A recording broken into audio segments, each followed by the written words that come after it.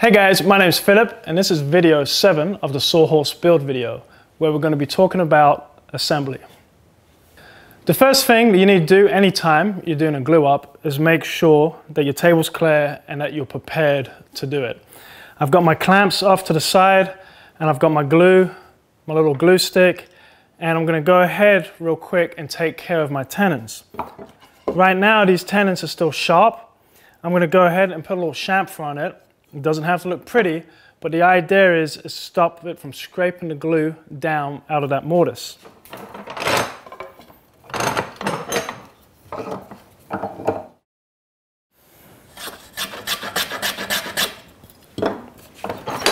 So block plane makes pretty fast work out of this. You could also use a knife. And that way, you know, the theory in this is that it won't scrape the glue out of the mortise or all the way down to the bottom. It's also really important to think about the project and how you're going to actually glue it together. It's very rare that I ever have a project where I just glue the entire thing together at once. So in this case, it just makes sense. I'm going to attach the leg to the foot, clamp it up, let it dry for 30 minutes or so, and then I can go ahead and put those two assemblies together with the mid rail and the through uh, tenons with the wedges. For this glue up, I'm going to use just a regular Titebond 1. That's typically the glue I go to for most projects. Um, with this type of tenon, I'm going to go ahead, since it's not a through tenon, I'm going to go ahead and put most of the glue in the mortise and then a very little amount on just the front half of the actual tenon. If you put too much on that, it's just going to pour out and make a mess. Uh, the idea is when I clamp this up, I don't have to get in and do any cleanup.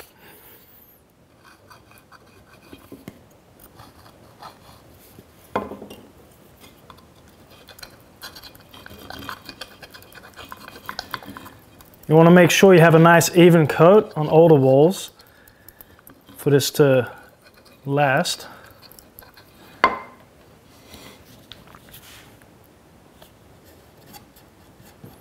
And again, I'm really not putting much on her.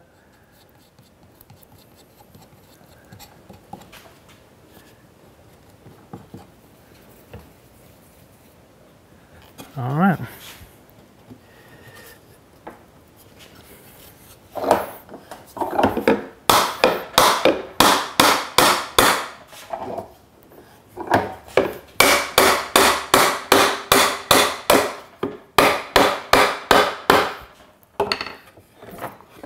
So as you can see, as soon as you add glue, things start getting a little tight. Instead of me smashing on that, I'm gonna go ahead and see if I can bring it home with a clamp. I may have to get a bigger clamp. Okay, as you can see, I had to get out the big boy. Those, uh, these type clamps just don't have enough torque to bring a joint home. And th this was a little bit tighter than I thought it was gonna be. Hopefully this will do the job. There it goes. You know, it just didn't take much to bring that home, but this type of clamp, just, it wouldn't be able to do it. All right, so now that's home, I kind of take off a little bit of pressure and that shoulder, check both sides, looks really good. Now that these guys have sat for about an hour, I'm ready to go on and you know join them together with the mid rail and do the wedges. So before I did that, I went ahead and made some clamping cauls. It's really important that the clamping cauls are made with a mortise going all the way through. I'll put a clamp above, you know, top, top and below. And in this way, this allows me to be able to put the wedges in before this tenon uh, dries, instead of doing it afterwards. So I'm gonna go ahead and do one side. It's a little cumbersome. The glue only goes on the tenon, not the mortise. If you put glue in the mortise, it's just going to squeeze it out and push it out the, the face and make a big mess. So I'll be a little more liberal with the glue on this since this is the only place it gets glue.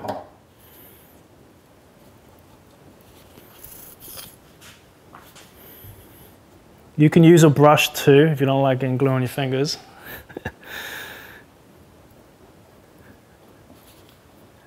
Alrighty.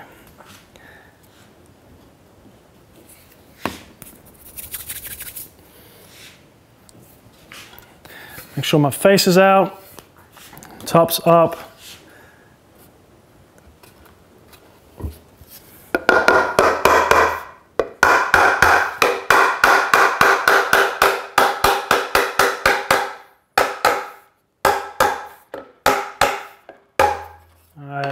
And I went ahead and chamfered this, just simply when it goes through, it's not gonna split that mortise out if it's too tight.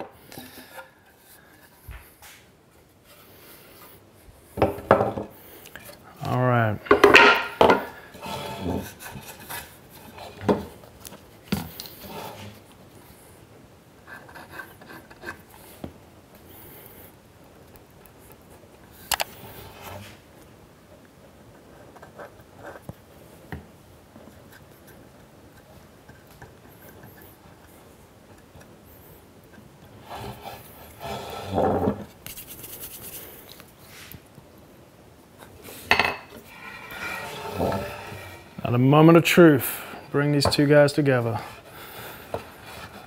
Maybe.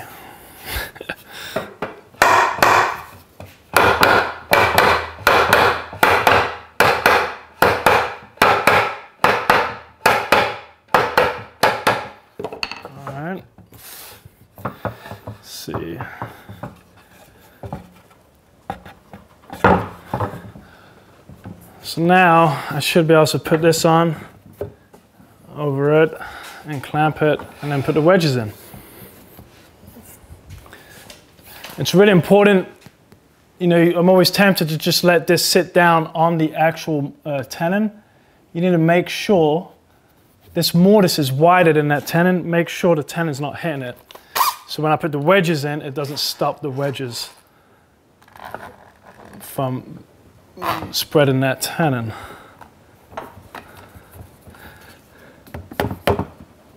Too far. That looks pretty good. This one doesn't. Okay. Looks good. Got gap, a bit of room.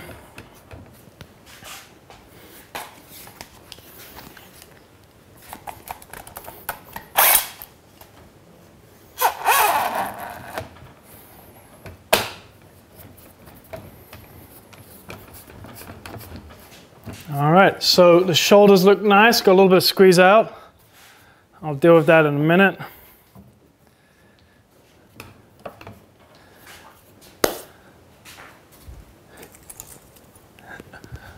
Got my wedges.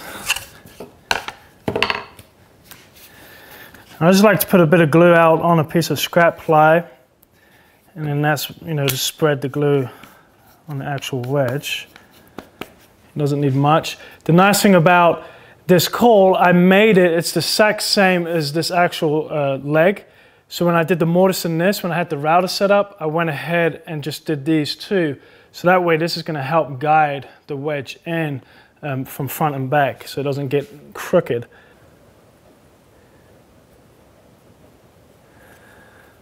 Put both the wedges in and then I'm gonna bang them back and forth, back and forth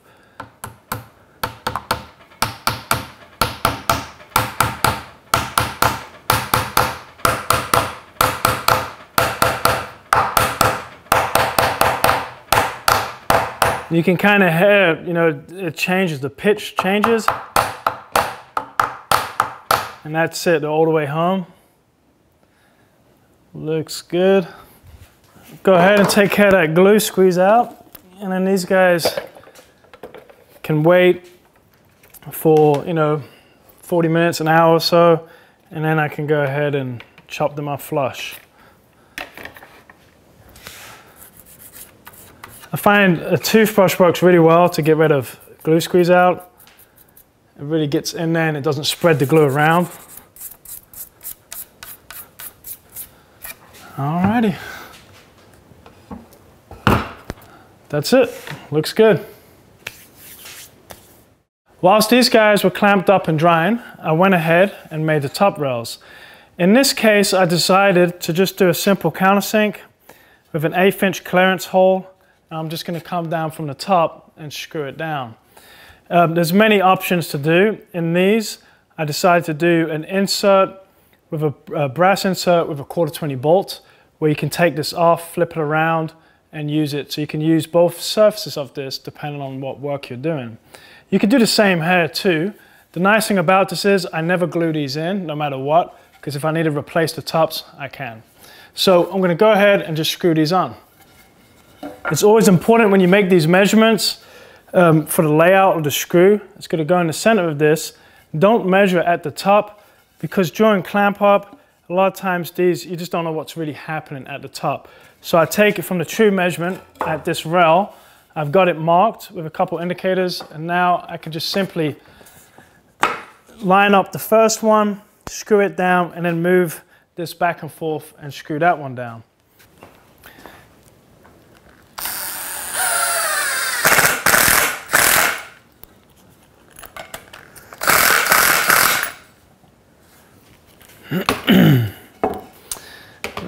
See this one.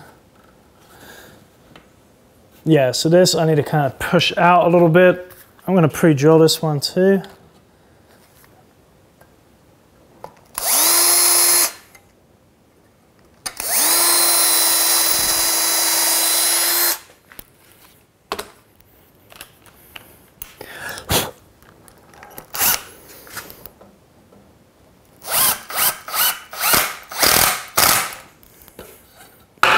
All right, now I've got some sawhorses. Okay, so now that I've got everything together, the last step is to cut these wedges off. This is probably one of the more satisfying parts of this entire build.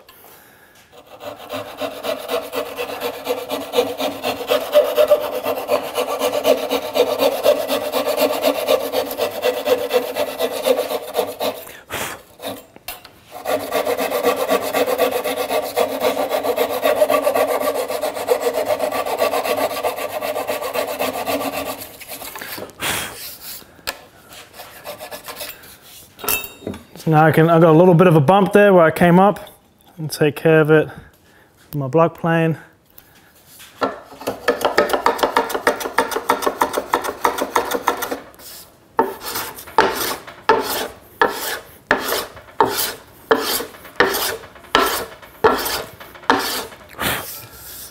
All right.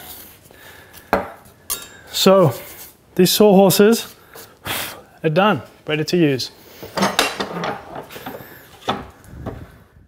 Hey guys, this has been video seven of the Sawhorse build videos.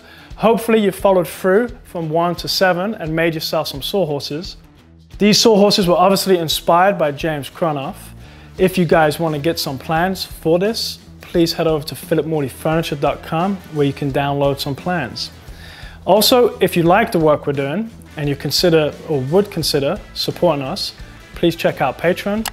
Um, if you are a patron, you get plans for free and last, if you enjoy the videos, please don't hesitate to hit that like and share. Um, please think about subscribing and just spreading the word. I really appreciate it. Hope these videos weren't too boring. Cheers.